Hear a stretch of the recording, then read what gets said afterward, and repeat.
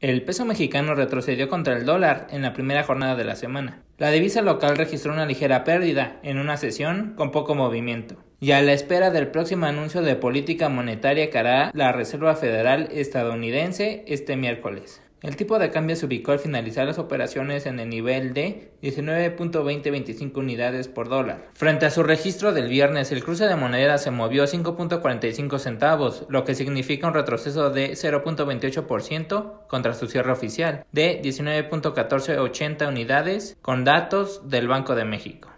En su techo de operación, el dólar peso alcanzó un máximo de 19.2153 unidades, mientras que el mínimo fue de 19.1285 unidades durante la sesión asiática. La paridad se mantuvo estable y oscilante en niveles cercanos a 19.15 unidades por dólar. Más tarde, comenzó a moverse y llegó a su peor nivel para el peso, luego de que la calificadora Moody's advirtió en un reporte que la desaceleración de la economía mexicana continuará y sumada a las decisiones en el sector energético será un importante factor de riesgo. Con información de José Antonio Rivera, El Economista TV.